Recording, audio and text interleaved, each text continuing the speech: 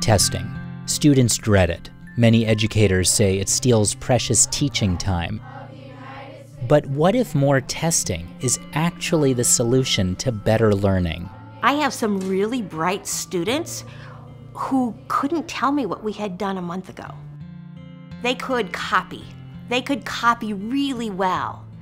But if you asked an essential question, they wouldn't know how to answer. What transformations occurred during the Middle Ages? So, to improve her students' memory, she's trying a new approach. She tests them every day. Names on top, number one through five. I just take whatever we did the day before, I put it in a basket, I pull five things out.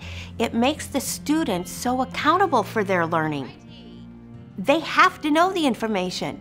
They have to retrieve this information. Number one, what is the term for a grand church?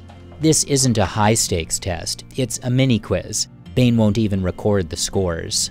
And number five, These quizzes prompt students to fetch information from memory. We should be trying to retrieve the information, getting it out of memory rather than trying to cram it into memory. Cognitive psychologists Mark McDaniel and Roddy Roediger have spent decades studying memory and learning. They say if long term memories aren't used often enough, they can fade, but not if they're retrieved frequently. It turns out that retrieval practice is extremely effective for creating robust memories. Whereas traditional studying techniques like highlighting and rereading notes will get you by in the short term, but you'll forget the information quite quickly. So you need uh, other strategies. McDaniel and Roediger conducted a multi year study at Columbia Middle School. Patrice Bain was one of the teachers in the study. what is feudalism?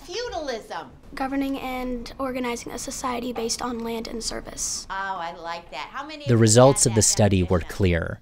By giving regular, low stakes quizzes, students perform better on graded tests administered days to weeks later. In other words, their recall often improved. Testing's here to stay, so teachers have to optimize how they use it. It has kind of been my mission to take this research, this cognitive science, and turn it into these simple strategies. These are strategies that just about anyone can use. All of these changes are so minor. Implementing them requires very little modification to the existing curricula and to how teachers spend their time in the classrooms. At least some educators seem to agree.